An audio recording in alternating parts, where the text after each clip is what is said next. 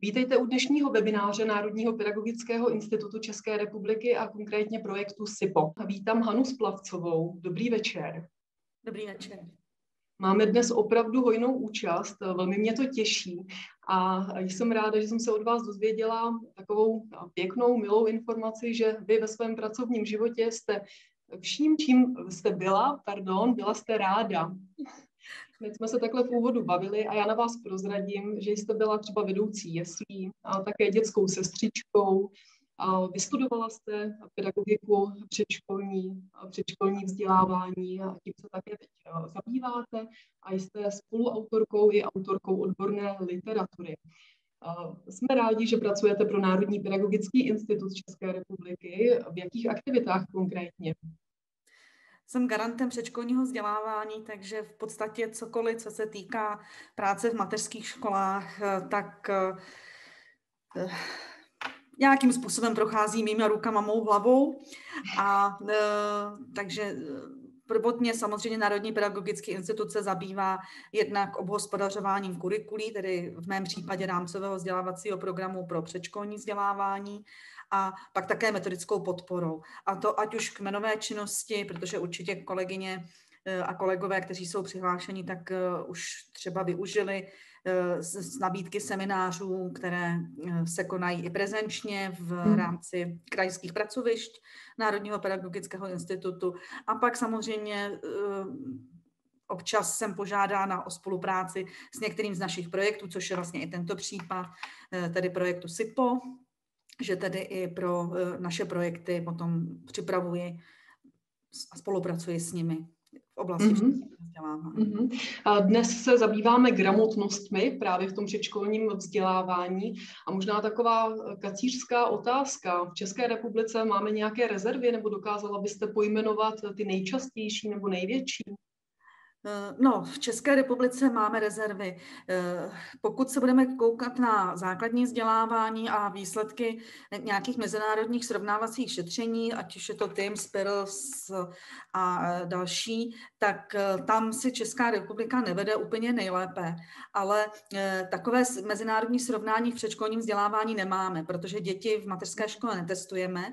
Já jsem za to moc ráda, hmm. protože z mého pohledu testování dětem testování dětí eh, předškolního věku eh, prostě není v pořádku, protože mhm. eh, děti se vyvíjí nerovnoměrně, každé jinak, každé v jiných oblastech a dětem by měl být dopřán ten klid na to dozrávání a na jejich přirozený vývoj. Takže v předškolním vzdělávání ten, to mezinárodní srovnávání, srovnání nemáme, ale zase na druhou stranu máme srovnání s různými jinými vlastně směry v pedagogice, předškolní mm. pedagogice a musím říct, že pořád Česká republika patří k těm, kde předškolní vzdělávání má velkou kvalitu a uh, můžeme, můžeme být na sebe pišní, na to, co máme v České republice obecně. Mm-hmm. Tak já přeji vám, abyste byla pišná na svou činnost, což určitě jste, taktéž posluchačům, aby se jim dobře eh, učilo a vzdělávalo. A prozradím, že se mohou těšit ještě na další webináře, které povedete, a to v listopadu i v lednu. Minimálně tady budou ještě dva. Prosím vás o nazdílení prezentace a za Národní pedagogický institut, kde působíte, a také konkrétně dnes projekt SIPO. Děkuji, že jste si takto večer udělala čas. Je mi velkým potěšením, že eh, až, až přes tu pokročilou hodinu celkem eh, se vás tady sešlo tolik a eh, máte zájem dozvědět se něco o gramotnostech v předškolním vzdělávání. A věřím, že snad vaše očekávání alespoň částečně naplním. Zaznamenala jsem lidi z různých koutů České republiky, takže vás do těch všech koutů zdravím srdečně a můžeme začít. Eh, tak, eh, takže eh, v každém případě o integrovaném přístupu jsem už mluvila a poznávání všemi smysly, což vlastně má nalodit i ta fotografie, proto bych tolik litovala, kdybych nenazdílela tu správnou prezentaci. Protože samozřejmě poznávání všemi smysly má pro děti, ale vlastně nejenom pro děti, velikánský význam. Další, co je velice důležité, tak je práce s chybou a chyba jako výzva. A to je výzva i pro nás, pro učitele v mateřských školách, abychom netrvali na předpokládaném řešení a nepředávali dětem hotové informace. Nejprve k té první větě ne, ne, jak si vysvětlit, netrvejme na předpokládaném řešení. Eh, každý z nás máme nějaký styl učení, každý z nás se učí eh, jinak. Někdo jsme vizuální typ, někdo jsme eh, haptický typ, tedy je pro nás důležité to, co si osaháme. A podle toho také z pravidla přistupujeme k plnění různých úkolů, k různých, různých problémů. A jestliže já připravuji nějakou činnost, tak samozřejmě ji připravuju s tím, eh, jaký já sama jsem ten vzdělávací typ, nebo jaký je můj osobní styl učení. Ale eh, děti mohou přijít úplně s jinými způsoby, můžou vlastně nás překvapit tím, co vymyslí, co dokážou, jen jim k tomu musíme dát tu příležitost a ten prostor. A nepředávat dětem hotové informace, tam bych řekla, že jsme někde na půli cesty, protože určitě se eh, nám nestává eh, to, co se bohužel pak občas stává na základní nebo dalších vyšších stupních eh, školy, a sice to memorování, transmisivní předávání informací s tím, že by paní učitelka proti sobě posadila děti a 20 minut jim tam něco a 20 minut jim tam něco vyprávěla. Takže to je určitě zase mm, plus směrem, směrem k nám. No a eh, chyba také vede k poučení a eh, k tomu, eh, aby, když se stane chyba, když dítě má možnost popsat, kde se stala chyba, jak, jakou volil cestu, proč se, proč se něco nepodařilo, tak vlastně je tím naprosto skvěle vedeno i k, k sebehodnocení a k tomu, aby sam, samo rozvíjelo své myšlení a dokázalo příště činnost zvládnout lépe. Také se ale můžeme setkat s tím, že dítě začne něco stavět, vyrábět, samo nám řekne, že bude vyrábět něco a nakonec se mu to nepovede, ale eh, dítě na základě nějaké své vnitřnělé představy eh, si v tom, v tom konečném výrobku nebo v konečné stavbě najde něco jiného. A tak je potom tedy na nás, abychom dítěti dali někdy i prostor k tomu, že nemusí chybu opravovat, ale že může chybu přijmout a vlastně využít, využít to, co Eh, dokázalo úplně k jiné činnosti. Eh, já eh, například mě napadá, dítě chce postavit loď a jak staví a staví, tak zjistí, že vlastně loď to není, protože to není na vodě, ale mohla by to být garáž nebo dům pro panenku. Takže jestliže to dítě najde pro, pro, te, pro, to, pro ten výsledek své činnosti nějaké jiné uplatnění, i to bychom mu někdy měli dopřát a být si vědomi toho, že ne vždycky musíme chybu nutně, eh, nutně napravovat, ale měli bychom si být vědomi, že aha, tak já jsem teda zkus, vlastně chtěl něco jiného, ono se mi to nepovedlo, ale já jsem vlastně možná radši, protože s tímto si víc vyhraju a eh, do té garáže já mám spoustu autíček, která tam mohou, která tam mohou parkovat. Takže to je k chybě jako výzvě. A už se dostávám k samotnému termínu gramotnost. Eh, takže co to tedy ta gramotnost je?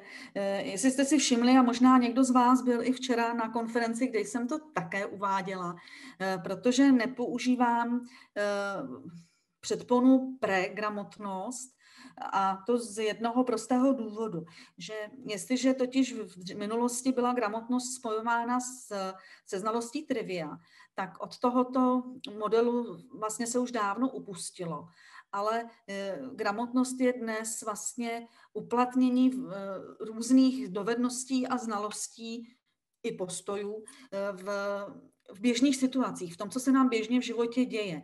A proto vlastně je s gramotností už ne tak konečná buď dovednost nebo nedovednost, prostě buď umím nebo neumím číst, psát a počítat, ale eh, stává se z toho celoživotní proces, kdy vlastně pořád na nás čekají v průběhu života eh, nějaké výzvy gramotnostní a eh, proto tedy já osobně a mm, mé kolegyně v Národním pedagogickém institutu nepoužíváme tu značku pregramotnost, nebo někdy je ta předpona i daná jako předmatematická nebo předčtenářská gramotnost.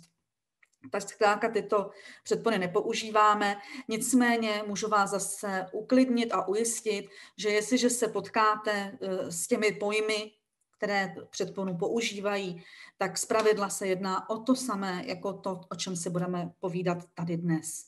Takže zkrátka vždycky eh, podle toho, odkud autor je, eh, jak se na tu danou problematiku, eh, na tu, myslím teď tu terminologickou dívá, tak z toho to může vycházet, ale v podstatě nám jde všem o stejné věci. Eh, vidíte, že, tady, že jsem tady popsala tři gramotnosti, které jsou vlastně mezi prioritami vzdělávání, a to nejen v předškolním, ale eh, v celé vzdělávací soustavě. A sice čtenářská, matematická a digitální. A těmto třem gramotnostem se v posledních pěti letech eh, věnoval projekt Podpora práce učitelů. Já jsem měla to štěstí, že jsem byla po většinu jeho trvání přitom a že jsem se mohla podílet na rozvoji mm, jednak konkrétních zapojených škol nebo učitelů z konkrétních zapojených škol, ale i na vzniku spousty eh, zajímavých materiálů, na, které, na některé z nich vás dneska budu odkazovat. Takže eh, první z nich je vlastně krátký dokument, jmenuje se Gramotnosti předškolní vzdělávání a tam je vlastně stručně na několika, myslím, že do třech stran, eh, popsáno, eh, co znamenají ty tři gramotnosti v předškolním vzdělávání. Protože jestliže my máme, a já vám to pak postupně budu ukazovat, eh, máme vyvozené nějaké definice co znamená která gramotnost. Ale samozřejmě my víme, že dítě v předškolním vzdělávání eh, bude na nějakém prvním stupínku té gramotnosti, eh, tak eh, právě jsme se tady snažili v tomto dokumentu popsat, co ten první stupínek obnáší, co můžeme od toho dítěte předškolního věku očekávat, co naopak bychom mu měli nabízet a proč a čemu bychom se měli případně vyhnout. Takže tady vidíte, čím, čím vším eh, vytváříme základy eh, gramotností v předškolním vzdělávání. Tento, tento letáček nebo plakátek je ke stažení také na stránkách projektu Podpora práce učitelů. A vlastně jsme tímto, tímto plakátkem chtěli ukázat na to, že těmi různými činnostmi, eh, které, eh, které dětem nabízíme, tak opět rozvíjíme jejich čtenářskou, matematickou, digitální a další gramotnosti.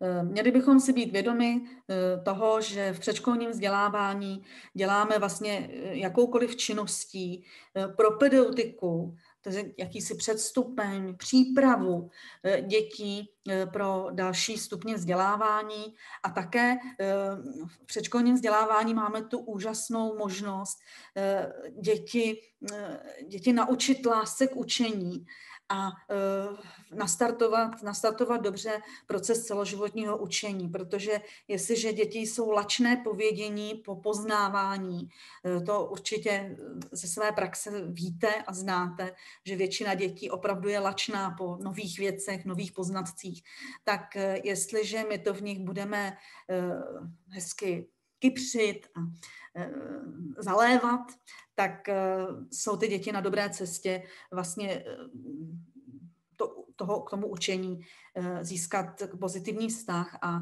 nebude pro ně pak problém v průběhu života zjišťovat nové potřebné věci pro svůj, ať už osobní nebo pracovní život.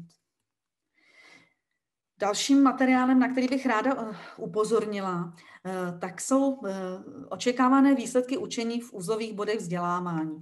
Ono to zní tak trošku vznosně. Když se podíváte do toho materiálu, tak tam uvidíte mm, očekávané výstupy, které do jisté míry mohou evokovat očekávané výstupy z rámcových vzdělávacích programů. Ale v čem jsou tyto, tyto výstupy výborné eh, pro orientaci právě v těch třech gramotnostech, je to, že tam vidíte kontinuum, tedy ten vývoj, odkud kam to dítě jde, protože ty, těmi uzlovými body je konec předškolního vzdělávání a pak třetí, pátý, sedmý a devátý ročník základního vzdělávání. To znamená, že v tom kontinu vidíme, co pro ten konkrétní výstup můžeme udělat a děláme v mateřské škole a jak postupně to dítě získává víc a víc kompetencí a je čím dál víc gramotnější eh, v určitých ohledech. Takže tyto materiály vřele doporučuji se na ně podívat.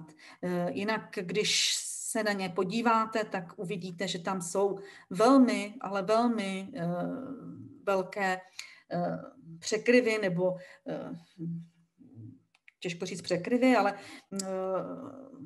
stejnosti, promiňte, nemůžu přijít na to slovo, eh, s rámcovým vzdělávacím programem pro předškolní vzdělávání. To znamená, je tam soulad eh, s rámcovým vzdělávacím programem pro předškolní vzdělávání. Dalším materiálem, který eh, určitě stojí za zmínku, tak je metodická příručka. Eh, tyto metodické příručky vznikly tři v rámci projektu a sice pro každý ten stupeň vzdělávání. Eh, jak jsem říkala, projekt se věnoval předškolnímu a základnímu, takže máme tam náměty pro předškolní a pak pro první a druhý stupeň základní školy. Konkrétně pro předškolní vzdělávání máme 29 námětů, které jsou zpracovány v takzvaných, říkáme tomu, jednotlivé karty, protože jsou to jednotlivé činnosti poskládány za sebe. A v těch, v těch jednotlivých kartách té činnosti nebo souboru činností. Eh, jednak eh, máte možnost eh, vidět vymezení, kterou gramotnost nebo gramotnosti v tou, tou konkrétní činností rozvíjíme a jak. A od těch základních informací, tedy pro kolik dětí najednou, jakého věku, jaké k tomu potřebujete pomůcky, kolik vám to asi bude jako stát času, tak se tam dozvíte i mm, právě o naplňování jednotlivých gramotností, eh, čím je tam naplňujeme, kde, kde jsou tam vidět a eh, ty činnosti jsou popsány i eh, reflexí, protože všechny ty činnosti jsme ověřovali v mateřských školách, většinou právě ve školách zapojených do projektu a za to i kolegyním a kolegům moc děkujeme, že nám to, že nám tuto reflexi poskytli a e, v podstatě v těch postřezích jejich e, se e, to potom odráží, že buď jsme, buď jsme i upravili ještě ty texty a hlavně tam zůstalo pro vás, na co si třeba dát pozor, nebo co je překvapilo, o čem je děti překvapily a tak. Takže určitě stojí za zmínku. A tím se dostávám k těm jednotlivým eh, gramotnostem. Eh, čtenářská gramotnost je v mateřských školách většinou uchopena velice dobře. Eh, ke čtenářství děti vedeme, běžnou součástí mateřských škol bývá knihovna, to znamená, děti mají nabídku dětských knih, dětské literatury, s dětmi si povídáme, vyprávíme, eh, rozvíjíme jejich komunikační schopnosti a dovednosti. Takže eh, myslím si, že to je gramotnost, ve které eh, jsme nejdál a která v podstatě nám nečiní problémy. Někdy děláme ty věci intuitivně, zase, když si přečtete některé, některé potom poznatky, tak zjistíte, aha, tohle, tohle dělám a vlastně to také je čtenářská gramotnost. Projekt Podpora práce učitelů vymezil pra, pro čtenářskou gramotnost čtyři složky. Eh, tou první je vztah ke čtení, to znamená, to je přesně ten výběr knihy, to, že dítě soustředěně naslouchá, eh, učí se samo vyprávět, diskutovat. Eh, pak je druhá složka, která se jmenuje porozumění textu a interpretace. A to už je vlastně takový vyšší level toho, když dítěti nebo dětem předčítáme, tak děti mohou předvídat děj, mohou odhadovat, jak to bude pokračovat, eh, mohou vyhledávat informace třeba z obrázků, z, z ilustrací, eh, můžou pracovat s piktogramy nebo, nebo, eh, nebo můžeme mít obrázkové čtení, které zase podporuje to porozumění a komunikační dovednosti dětí směrem za interpretací eh, toho, toho textu. Eh, další je posuzování obsahu a formy textů. A tady můžu říct, že už vlastně v mateřské škole, a to je zase třeba něco, co si myslím, že je hodně, eh, že je hodně intuitivní, že to, je, že to děláme spíše, eh, spíše intuitivně než vědomně, ale seznamujeme děti s různými typy textů, od básniček, říkadel, po nějaké krátké příběhy, ale máme v mateřské škole i encyklopedie, to je zase jiný typ textů. To znamená, že v podstatě už někde na Prahu předškolního a základního vzdělávání eh, se děti orientují v těch základních typech textu a vědí, že jestliže se chci něco dozvědět o třeba nějaké rostlině nebo zvířeti, eh, tak si otevřu k encyklopedii a tam tu informaci najdu. Eh, jestliže chci pohádku, tak otevřu jiný typ knížky a, a tak. No a zároveň je tam i Vidíte, že tady mám popsány grafické znaky a ty grafické znaky to nejsou jenom písmena, který, kterými zaznamenáváme text eh, nebo slova, ale eh, jsou to různé zase obrázky, piktogramy, značky, eh, vlastně různé symboly, které běžně v mateřských školách používáme a se kterými děti seznamujeme. No a potom tou poslední je čtenářská nezávislost, což by se eh, vlastně řeklo, že čtenářskou nezávislost to dítě v předškolním vzdělávání ještě mít nemůže, ale na druhé straně už v mateřské škole si dítě může vybrat knížku, může se doptávat na něco, čemu nerozumí a může také reflektovat svůj čtenářský zážitek. Eh, čtenářský zážitek buď vlastně aktivní prohlížení knížky a nebo, nebo bude reflektovat to, co ten příběh, který slyšel z našich úst, když my jsme dětem četli. Takže opravdu zase ten, ty základy tam určitě jsou. Eh,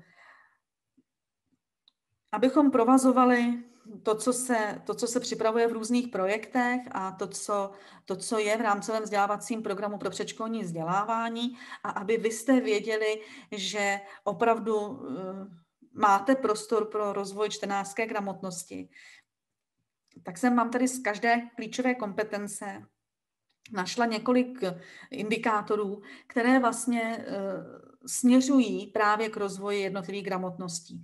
Takže tady na tomto slajdu vidíte eh, právě ty, které vedou a směřují ke čtenářské gramotnosti.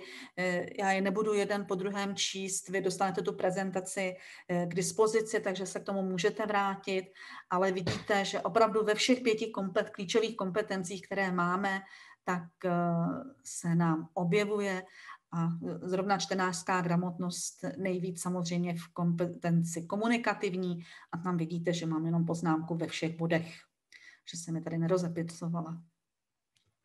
Eh, pokud máte chuť, eh, myslím si, že by nebylo špatné, kdybyste si i mezi sebou vyzdíleli eh, třeba nějaký tip na knížku, ve které si dokážete práci v mateřské škole představit. Takže myslím si, že chat vám je k dispozici i k tomu, no, může být k dispozici i k tomuto a neostýchejte se a sdílejte tam svoji vlastní zkušenost. Já jsem vám ze změti, z množství knížek, které mě doma i v práci obklopují a obklopovaly, tak jsem vám vybrala e, knížky tří autorů, e, kteří mě nikdy nesklamou a od kterých, když vezmu do ruky jakoukoliv knihu, tak vím, že Eh, děti natchnu, sebe natchnu a eh, že ty knížky stojí za to. Takže Jiří Kahoun, Petr Horáček, Zdeněk Svěrák a samozřejmě jich je daleko víc a já věřím, že se vám, eh, že se vám objeví v chatu. Takže to je teď ode mě. Další, eh, další věc, která se nám v mateřských školách k mému velkému potěšení eh, stále více a více rozvíjí, tak je budování čtenářských koutků. A eh, vlastně dělají ho v mateřských školách tam, kde vědí, že ke čtení potřebuje dítě mít taky tu pohodu a klid. Eh, vlastně, jak my si sami doma sedneme ke knížce, taky si sedneme buď do křesla, nebo se zavrtáme někam eh, pod deku, eh, mezi pouštáře a vlastně chceme, aby nám s tou knížkou bylo hezky. A e, to vlastně ty čtenářské koutky, tady vlastně máte příklad dvou čtenářských koutků. Když jsem je viděla, tak to je přesně to místo, že si řeknete, je, tam si chci sednout a tam si tu knížku chci vzít a prohlížet. E, někde dokonce tady vidíte na tom obrázku, kde je to zelené křesílko, ono to tam teď není, e, není až u křesílka, ale je tam i koberec s vysokým chlupem. Takže dítě si buď může lehnout na ten kobereček, anebo, nebo si může vyzout bačkůrky a sednout si do toho křesla a nohy, eh, nohy nechat na tom koberci. To znamená zase, že vnímá i právě prostřednictvím těch chodidel, tím, že, tím, že eh, cítí eh, v chodidlech to, ten libý pocit, tak to umocňuje ten požitek z, z knížky, ze čtení, z prohlížení. A ještě bych chtěla upozornit na jednu věc, která je na těch obou obrázcích společná. Tady s chodou okolností teda jsou využity stejné poličky, ale ono těch poliček je široká nabídka. Dokonce jsem viděla kontejnery pojízdné, které už jsou upraveny tak, že eh, knížky máte v tom koutku eh, právě takto dětem předkládané. To znamená, že tam nemáme knihovničku, kde by byla řazená jedna knížka vedle druhé a děti by viděly vlastně jenom hřbety, ale eh, vidíte, že tam je pár knížek, ale děti je vidí tou čelní stranou, eh, na které zpravidla bývá eh, nějaká výrazná nebo hm, prostě lákavá ilustrace, eh, která hm, přímo vybízí děti k tomu, aby si knížku prohlédli a také už dost často ukazuje dětem, o čem ta knížka asi bude. Takže je to zase pro to předvídání, pro to, aha, tak tady, tady zrovna vidím na té jedné knížce, že je slon, aha, tak tady já asi uvidím něco, nebo dočtu se něco o slonech. Takže to vřele doporučuji, aby abyste umožnili ve svých mateřských školách dětem. A já vím, že když jezdím právě do mateřských škol, tak je to čím dál častější praxe, že takováto místa eh, v mateřských školách máte a na to myslíte. A za to jsem moc ráda. Eh, čtenářská gramotnost je také eh, velmi vítanou příležitostí pro spolupráci s rodinou. Eh, víte, že hledáme cesty, jak se dostat k rodičům, jak najít společnou řeč, společné téma, aby, mm, aby mezi námi vznikly, vznikla ta chemie a ten vztah, který, který bude důvěrný a bude příjemný pro nás, pro všechny tak eh, zrovna, zrovna to čtenářství eh, může být jedním z nich. Jednak můžeme pozvat rodiče nebo prarodiče k tomu, aby četli dětem v mateřské škole. Ať už je to, to eh, takové to spaní, pardon, čtení při odpoledním odpočinku nebo, nebo v nějakou jinou hodinu. Zkrátka, když rodič nebo prarodič přijde a vezme knížku a bude číst, tak eh, určitě vedle sebe během chvilky bude mít hrozen dětí a moc a moc eh, to bude příjemné pro obě strany zase, jak pro děti, tak pro ty rodiče nebo prarodiče. Samozřejmě je fajn, jestliže umíme eh, podpořit a dát inspiraci rodičům pro to, aby vybrali knížky do domácích knihovny. Určitě se vám stává, mně se to stávalo dost často, zrovna teď třeba v tom období, eh, které nás teď čeká, tady v tom období předvánočním, eh, že se vás rodiče ptají, jestli máte nějaký tip na nějaké třeba hračky nebo pomůcky, prostě něco, co by se mohlo dětem líbit. A mezi tím samozřejmě bývají i knihy. Eh, tak eh, když jim budete moct dát nějaký skvělý tip na novou knihu, tak je to fajn.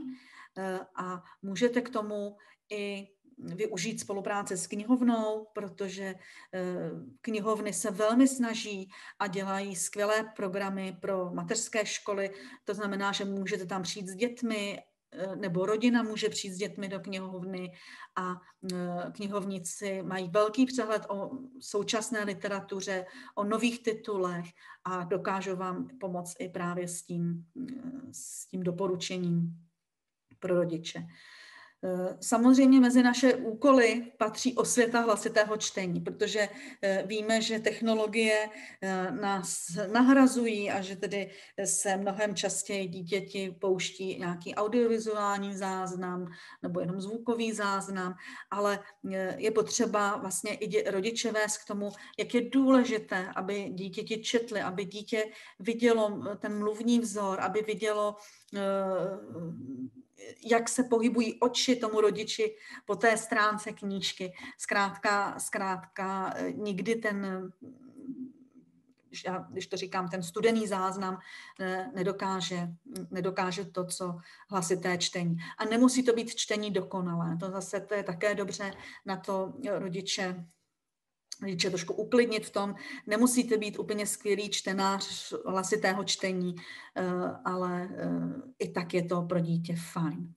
Eh, samozřejmě to podporuje společné sdílení, ať už uvnitř mateřské školy nebo, nebo zase v té rodině.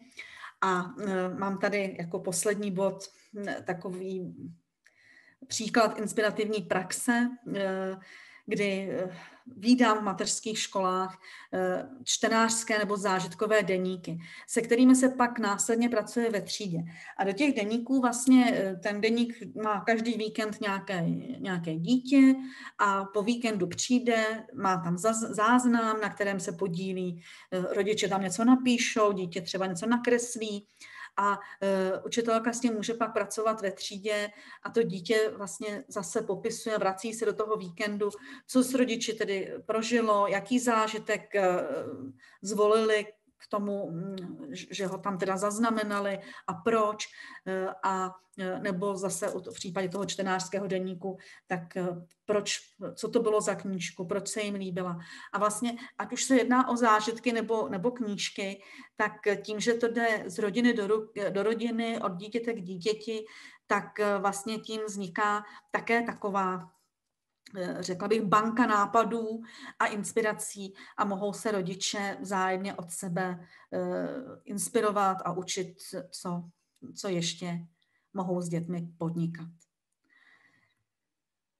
Tady je odkaz na uh, minimetodiku, kterou jsme vytvořili už v rámci ještě předchozí organizace, tedy Národního ústavu pro vzdělávání.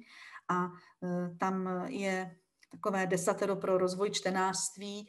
Jsou to takové skládací, skládací brožurky, vlastně složená A4, jsou ke stažení, takže můžete si je vytisknout a zase vytvářeli jsme je s tím, že samozřejmě mohou sloužit vám jako učitelům, ale zároveň vám mohou sloužit jako jakási pomocná ruka směrem k rodičům, eh, kdy eh, vlastně vždycky se k těm rodičům ta cesta hledá lépe, když máme to téma, když máme něco v ruce.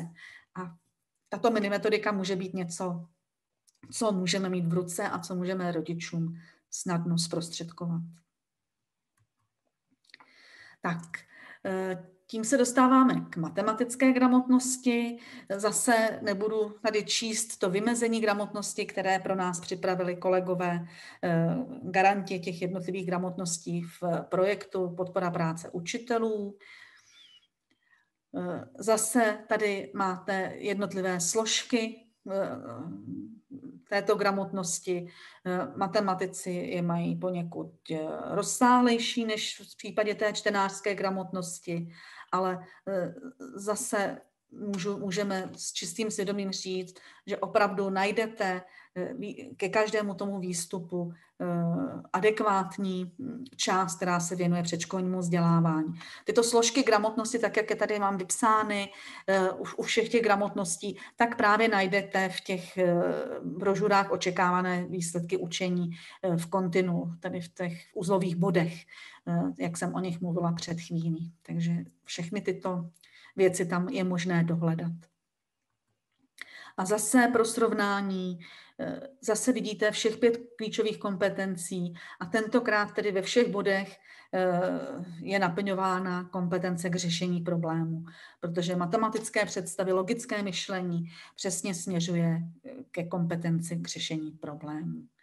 Takže ani matematická gramotnost v rámcovém vzdělávacím programu pro předškolní vzdělávání nechybí.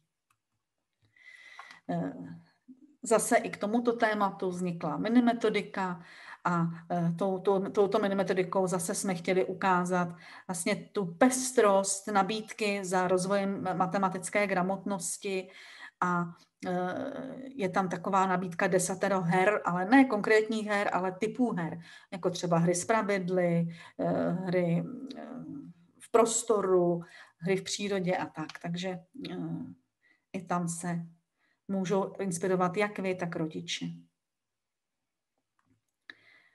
Eh, hned přecházím k vymezení digitální gramotnosti eh, a vy za chvíli uvidíte proč.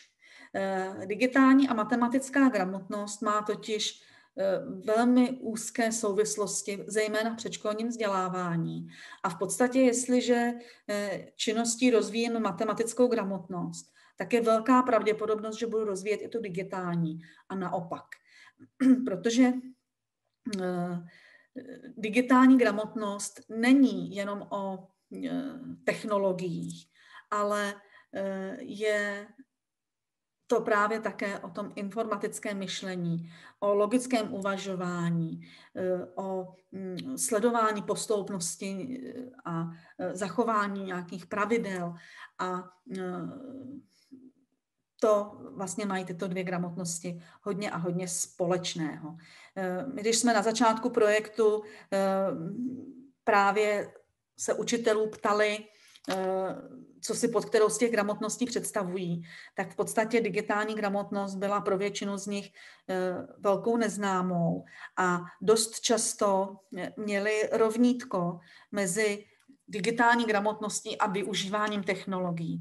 A my jsme je vlastně v průběhu projektu seznamovali s tím, že e, to je jenom výseč digitální gramotnosti a že e, pro digitální gramotnost můžeme dělat spoustu věcí, takzvaně unplugged, což znamená bez připojení, bez technologií, jinými způsoby. Takže tady třeba na té fotografii vidíte holčičku, která řeší nějaké bludiště a je to přesně zase rozvoj jak matematické, tak digitální gramotnosti.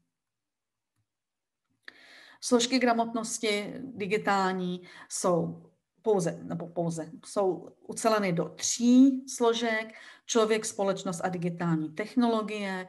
A tam e, vlastně úkolem předškolního vzdělávání je získávání povědomí o digitálních technologiích. E, e, my víme, že technologie nám pomáhají, že je využíváme ve spoustě vlastně běžných činností dnes už. Takže jestliže dítě jde s rodičem nakupovat, tak ví, že v pokladně se používají technologie. Prostřednictvím technologie dnes mnozí rodiče zaplatí ten nákup prostřednictvím technologií si dnes už můžeme i nákup objednat.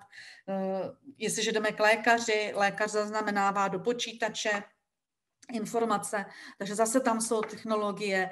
Eh, když sedneme do dopravního prostředku, tak zase naše jízdenky jsou dost často elektronické, nebo když přijde ten průvodčí, tak už má eh, vlastně eh, tu kontrolní krabičku, která je také, také elektronická, také technologií.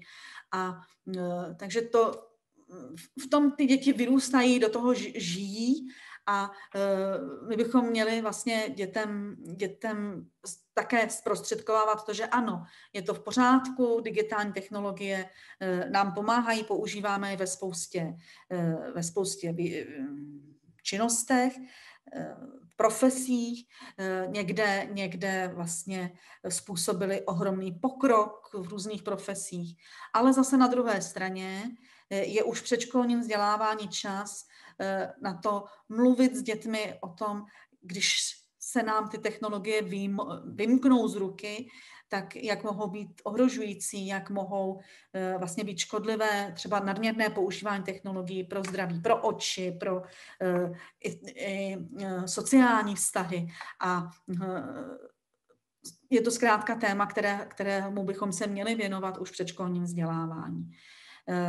Další složkou je tvorba digitálního obsahu.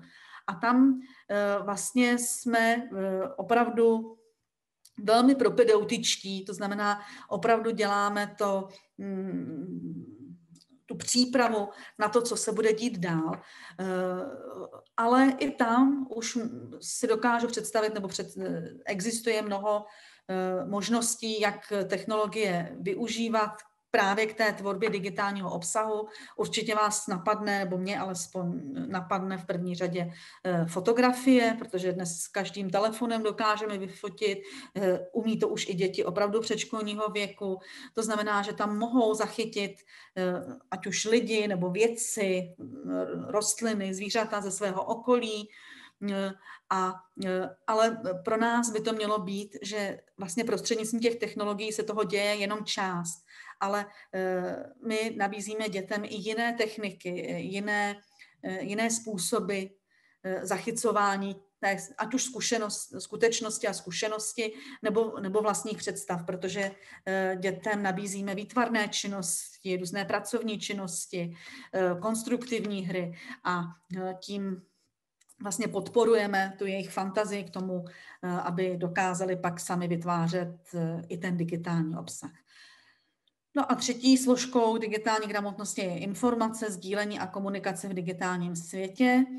A tam tedy eh, v předškolním vzdělávání nám patří eh, rozlišování různých obrazových symbolů, eh, porozumění jejich výrazu a funkci. Takže setkáváme se v předškolním vzdělávání s piktogramem, různými značkami, směrovkami, ale už zpravidla dítě i zná ať už z telefonu, nebo z tabletu, nebo z počítače, eh, různé ikony, takže eh, zase, co asi ta ikona znamená, k čemu, k čemu, k čemu slouží a mm, to už, to už teda děti předškolního věku jsou schopny eh, rozlišovat.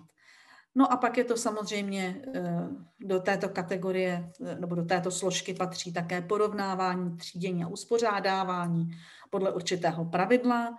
To vám zase určitě připadá eh, společné nebo podobné s matematickou gramotností a je to přesně tak. A pak také do toho patří spolupráce s ostatními. Tady zase vidíte eh, naplnění klíčových kompetencí s ohledem na digitální gramotnost. A stejně jako v té matematické, tak i v kompetenci k řešení problémů eh, je ve všech bodech stejně jako v matematické gramotnosti.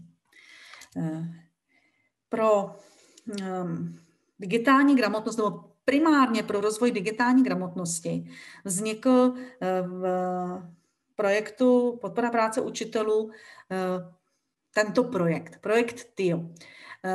Protože víme, že děti se nejlépe učí prostřednictvím, nebo nejlépe, Eh, je to nám, učitelům, blízké dětem předkládat různá témata, zejména ta obtížnější témata pro eh, ať už pochopení dětí, nebo proto, abychom je citlivě seznámili s některými tématy, tak je zkrátka pro nás dost často výchozím bodem eh, příběh.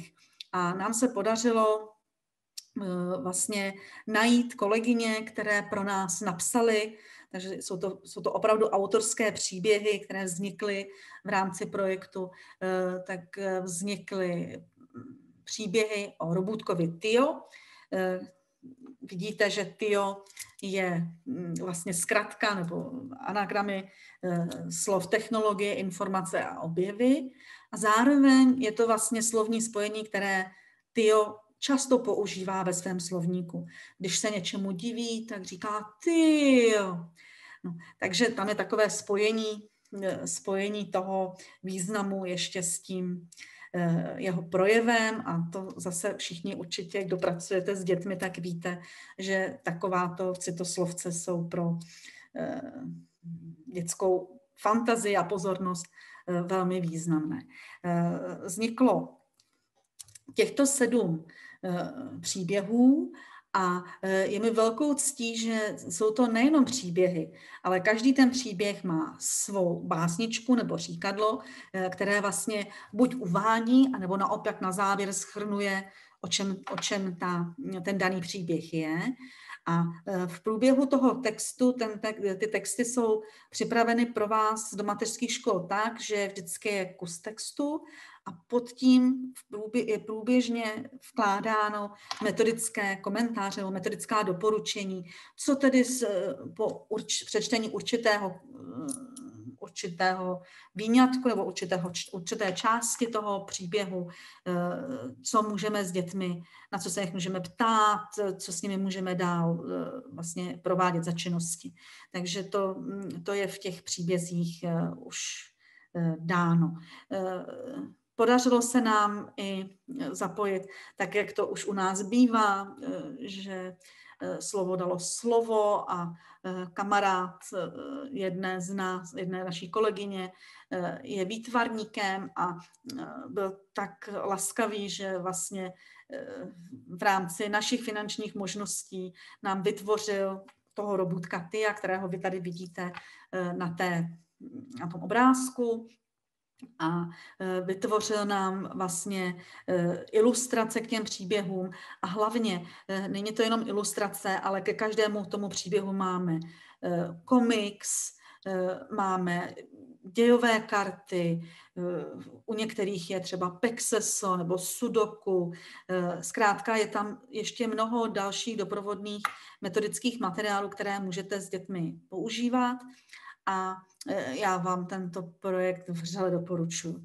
E, jinak ty příběhy nenavazují na sebe, takže byste museli e, zachovávat jejich pořadí, ale i v, v úvodním textu k těmto příběhům doporučujeme, abyste začínali tím prvním, tedy Tio a Robosvět, protože to je jakýsi úvod, který seznámí vás i děti s těmi hlavními postavami, kterými jsou teda jednak ten robůtek Tio, a pak je to ajťák Michal, což je mladý muž, který se orientuje v technologiích a dokáže Tyovi eh, mnohé věci vysvětlit, ukázat a také ho upozornit na to, že něco dělá nekalého, eh, dokáže, dokáže mu ukázat, eh, jak může některé, některé věci využít lépe, než původně Tyo vymyslel.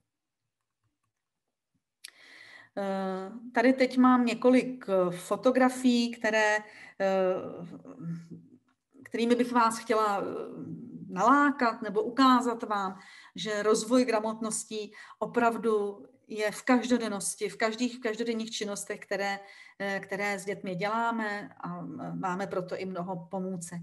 Takže tady vidíte děti, které staví eh, nějaký domeček pro skřítky, tak už tam prostě musí se domluvit, museli spolupracovat, eh, museli mít nějakou představu, jak to postavit, aby, aby to nespadlo, aby, aby ta stavba držela pohromadě, takže tam je to prostě za rozvojem vlastně všech těch, všech těch eh, gramotností, včetně té čtenářské, právě těmi komunikačními mm, eh, dovednostmi. To znamená, ty děti se musí domluvit. Eh, na druhé fotografii vidíte kolegyni, která zkoumá něco v, v trávě s dětmi, používá k tomu mobil, takže si to i vyfotili. Hledali si pak prostřednictvím internetu informace o tom broučkovi, kterého tam teda, vy ho tam nevidíte, ale byl to nějaký brouček. A takže zase využití technologií tak, jak to je smysluplné, tak, jak to dětem ukazuje to, aha, tady k tomu můžu tu technologii využít a vlastně se něco nového dozvím. Tady je eh, potom několik fotografií toho, eh, jaké pomůcky máme k dispozici k rozvoji eh, gramotností, takže tady vidíte nějaký badatelský koutek, obyčejné korále, Eh, které eh, vlastně rozvíjejí, jednak rozvíjejí jemnou motoriku, ale my víme, že bez eh, motoriky není, není řeč, bez řeči není myšlení, jsou to provázané nádoby. Dětem můžeme navíc dát nějakou podmínku, takže když navlékají korále, tak navlíkej jenom zelené nebo střídej zelené a žluté, zkrátka podle aktuálních možností konkrétního dítěte zkušenější dítě může dostat i předlohu, kterou musí dodržet. Zkrátka takové obyčejné korále skrývají velký potenciál k rozvoji gramotností. Tady vidíte zase různé e, činnosti. E, člověče nezlob se, si myslím, že asi není potřeba rozebírat víc. E, tady využití barevných zátek od láhví zase můžou tam děti skládat jakkoliv, nahodile, jenom to bude třeba u těch nejmladších dětí, kdy naším cílem bude, aby dítě rozvíjelo jemnou motoriku, to znamená, to znamená dokázalo eh, to víčko chytit a dát ho na ten určitý konkrétní bod. Eh, potom mohou děti dostat nějaké zadání, jaké zátky, jaká, jaké barvy mají použít, anebo je to na jejich fantazii, jak se jim to zrovna líbí. Eh, další činnosti tady vidíte eh, naprosto zaujatého dvouletého chlapce, eh, který má barvy v nádobě, má tam kaštany a tím, jak naklání tu nádobu, tak mu vlastně vzniká obraz, který mu tam malují ty kaštany, který, které vlastně tím, jak se namáčí do těch barev, tak mu tam vytváří, vytváří ten výsledný obraz. A mm, zase je to od rozvoje motoriky přes nějaké vnímání, eh, koordinaci ruky, oka a eh, rozvíjíme tam právě gramotnost tím, že mm, to dítě si tam zkouší a experimentuje s tím, jakým směrem naklonit tu nádobu, aby se ty kaštany pohnuly určitým směrem. Na další fotografii vidíte eh, dítě na pískovišti a tam zase, když si, že si děti hrají v pískovišti, tak eh, ať už staví cokoliv, jestli, jestli chtějí udělat bábovku, tak, eh, musí, tak se vlastně zkušeností dopracují k tomu, že na to potřebují mokrý písek. Jestliže chtějí bábovičku podcukrovat, tak k tomu zase se jim hodí suchý písek. A e, jestliže chtějí postavit hrad, tak vždycky ten základna je širší než ten, e, než ten vrchol. Tak zkrátka zase prostor pro rozvoj gramotnosti určitě veliký práce s modelovací hmotou, s různými stavebnicemi, kostkami, tyhle ty kostičky používají i kolegové eh, prvostupňaři, to znamená eh, na prvním stupni základní školy. Já sama nedám dopustit třeba na klasické dřevěné kostky, ale tahle ta, tahle ta stavebnice mě také velmi zaujala. Tak, mám tady takové úkoly, které jsme si mohli spolu eh, projít, ale já když se koukám eh, na hodinky, tak čas nám velmi pokročil, tak vám to jen tak teoreticky nastíní. Eh, mohli jsme si to i vyzkoušet, ale ten prostor pro to v tom, v tom, v tom hodinovém webináři úplně není. Taková inspirace pro jednoduchou říčku s dětmi za čtenářskou gramotností. Vezmeme si nějaký text, nejlépe takový, který děti už dobře znají, a e, některá slova nahradíme takzvanými vetřelci. A děti mají za úkol odhalit, e, která slova do toho textu nepatří a případně odhadnout, jestli mají ta slova, ta, ta, ta doplněná slova, e, jestli mají něco společného. A samozřejmě, protože předškolní děti neumí psát, tak eh, nemůžeme chtít, aby nám napsali ta slova, ale eh, domluvíme se s nimi, jak budou reagovat, když eh, to slovo odhalí. Takže třeba tlesknou nebo zvednou ruku nebo vstanou, zkrátka podle toho, jak se, jak se domluvíme.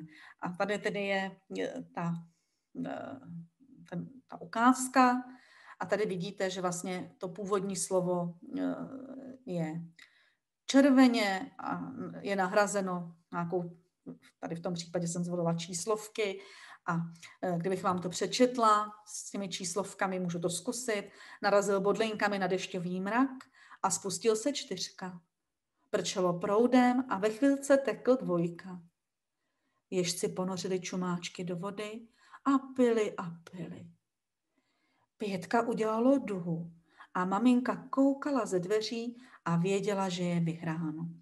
No, takže takhle byste dětem četli a e, zajímalo by vás, jestli děti odhalí, kde jste řekli slovo, které tam nepatří.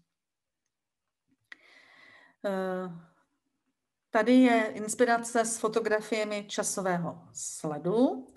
A tady vidíte, že já tady teda mám čtyři fotografie.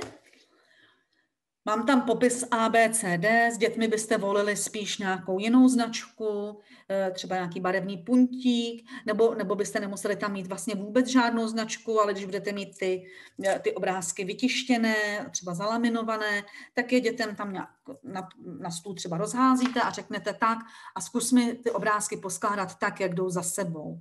A tady teda asi, myslím, že jste odhadli, že úplně za sebou nejdou tak, jak to, tak, jak to je, a máme tady i správné řešení. Takže kdo jste byl rychlý a ta písmenka jste si srovnával, tak už víte, že první bylo C, pak B, A a nakonec D. Takže to je taková fotografie časového sledu. Eh, fotografie časového sledu mají obrovský potenciál k rozvoji gramotností. Jednak je tam eh, vždycky čtenářská gramotnost, protože je tam komunikace. To dítě vedeme k tomu, aby mluvilo o tom, proč to má zrovna tak, proč to proč je to od toho obrázku k tomu dalšímu. Eh, je, je, to, je tam rozvoj matematické a digitální gramotnosti, protože jednak v tom, že mm, ta posloupnost, to, že nemůžu něco vynechat nebo, nebo něco dát obráceně, tak to je, to je to, co má společného e, matematika a technologie. No a v případě technologií to může být i tím, že my si s dětmi můžeme takovéto časové sledy vlastně sami nafotit.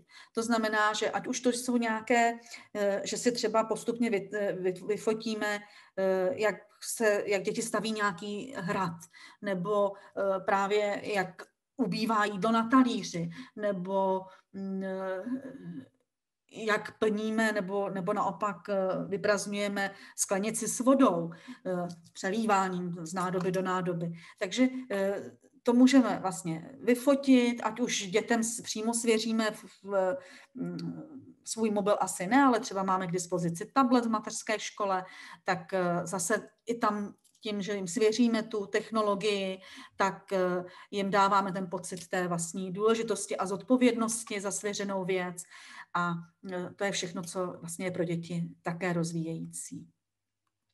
Tady vidíte zase jiný časový sled a to je přesně e, ten typ e, toho, že se postupně mm, vlastně máme tam postup práce.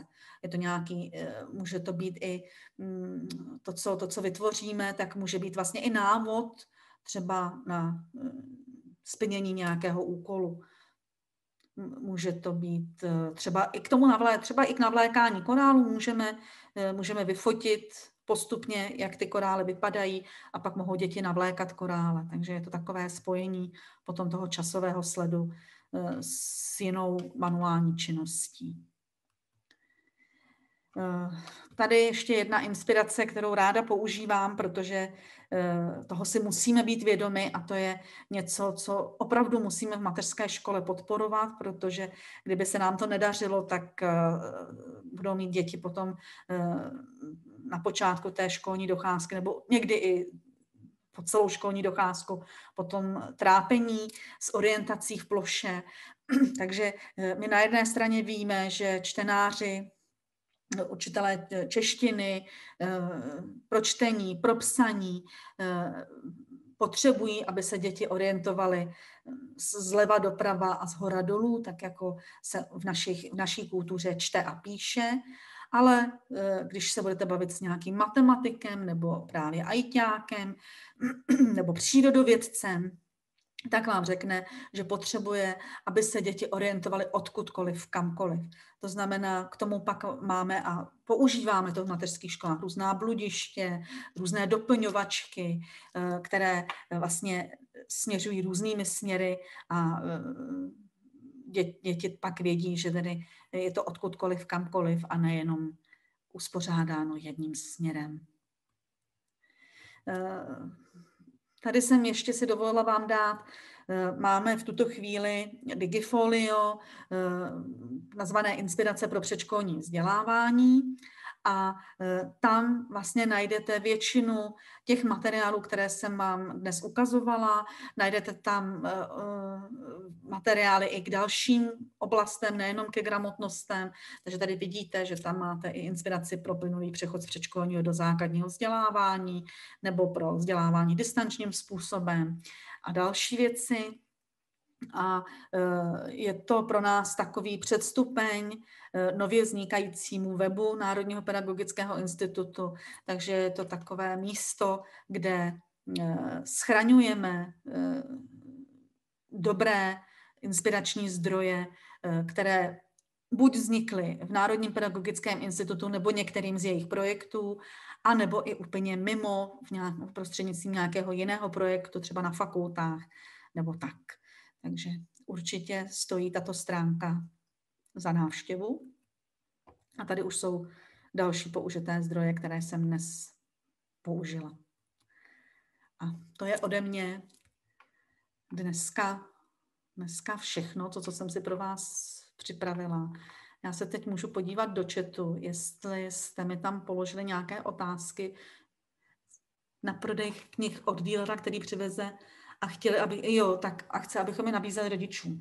No, tohle to je vždycky ošemetná věc. Eh, já jsem většinou eh, tyto dílery eh, příliš, eh, příliš nepodporovala. Ale ono záleží na tom, jaké knížky vám přinese. Protože může se někdy stát, že vám přinese ten dealer, a to nemusí být jenom knížky, ale dneska vlastně spoustu pomůcek, eh, které máte v mateřské škole, tak nejdou sehnat, nejdou sehnat v běžné obchodní síti.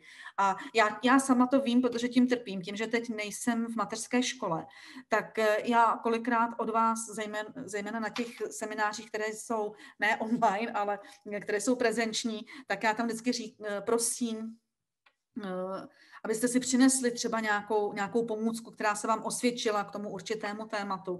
A eh, ne, nepřestávám žasnout, co vlastně dneska už se vyrábí a jaké pomůcky máte mít, možnost mít k dispozici. Ale za mě je vždycky důležité, abyste si to vy osahali, abyste vy viděli, co, co je v té nabídce. A e, pak je to na vašem zvážení, e, jestli, jestli řeknete, jo, tohle to jsou fakt tak dobré knížky, že e, rádi vás podpoříme a rádi to dět, rodičům nabídneme. A nebo jestli řeknete, že takhle ta nabídka není úplně ta správná a půjdete tou cestou toho, že budete nabízet to, co vám třeba doporučili v knihovně. Jo, takže určitě bych to takhle jako nezatracovala šmahem, ale vždycky bychom, jestliže rodičům chceme něco, cokoliv doporučit, tak bychom my měli být přesvědčeni o tom, že to je to ono, že to je to správné. A takže jestliže vám tam díle přinese knížky, které budou, které budou fajn, které budou dobré, tak proč ne? Ale já zase třeba mám tu zkušenost s tím, že zrovna co se týče knížek, eh, tak to dost často jsou takové neúplně eh, ne úplně zdařilé publikace. Eh, já, moje srdeční záležitost je třeba práce s dětmi raného věku a já jsem velice háklivá a citlivá na to, když se dětem v knížkách nebo v pomůckách, i v hračkách, protože ono to je i v těch hračkách, eh, když se dětem vytvářejí miskoncepty. To znamená, když eh, ty obrázky nebo ty předměty, které jsou v té nabídce, když to neodpovídá skutečnosti. Eh, vys fialová kráva, tu asi jste všichni viděli, asi ne na louce, ale někde na obrázku. A to, je vlastně, eh, to jsou vlastně miskoncepty, které já nemám ráda. To znamená, že takovou knížku já už potom mm, dětem nenabízím, nebo, nebo ani rodičům bych ji nenabídla. Ale může, může být knížka, dokážu si představit, že přinesou i knížky, které za to stojí. Takže fakt je to, fakt je to na vás. Jo, draka je lepší pozdravit. To je moc, hez, to je moc hezký uh, způsob, jak děti seznamovat s nějakými uh, pravidly, nešvary. Uh, mně, se, mně se osvědčila uh, a pak se to stalo. To je vlastně obdobně, obdobně stavěná knížka, když se neuklidí hračky, neučešou vlasy a tak podobně. No, Kahon toho má spoustu. Teď, a teď zrovna vyšla nějaká nová knížka, ještě ji nemám, si představte a neřeknu vám slavě, jak se jmenuje, ale vím, že je nová knížka. Teď jsem tady našla jednu otázku, tak ještě na ní odpovím. Jestli je chyba, když nemáme digitální gramotnost zmíněnou a rozvedenou v školním vzdělávacím programu, eh, Není to chyba, protože gramotnosti ex, explicitně nejsou uvedeny ani v rámcovém vzdělávacím programu pro předškolní vzdělávání. Vlastně ty, eh, ty body, které jsem vám tam uváděla, tak jsou eh, tak se stahují ke klíčovým kompetencím a k těm jednotlivým indikátorům pro klíčové kompetence a mají vztah k digitální gramotnosti. Ale abyste měli ve svém školním vzdělávacím programu přímo explicitně zmíněno, že rozvíjíte kteroukoliv z gramotností, tak to se po vás, to se po vás nechce. A teď už tam fakt nic dalšího nevidím, kromě, kromě skvělých ohlasů. Takže se s vámi rozloučím. Děkuju, hezký večer a někdy příště při nějakém jiném nebo stejném tématu. Naschledanou, naviděnou.